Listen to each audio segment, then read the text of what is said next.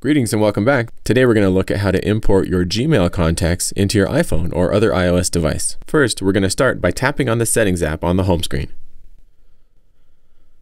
Scroll down until you find the button that says Mail, Contacts, and Calendars. You can see I already have a few email contacts set up, but I'm going to go ahead and tap on Add Account. Here we're going to scroll down to the bottom and tap on Other, because what we need to use to import our Google Contacts is to use this uh, setting called CardDAV account. So I'm going to tap on Add CardDAV account. For server, you're going to put in google.com.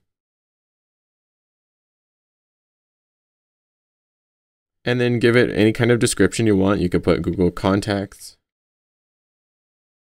And then go ahead and put in your username and your password and tap on Next.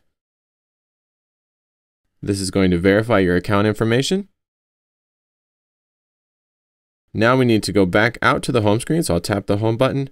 And when I launch my contacts app, then it will immediately start to sync and add all those contacts from my Google account. Congratulations, you've successfully imported all your Google contacts into your iPhone or iOS device.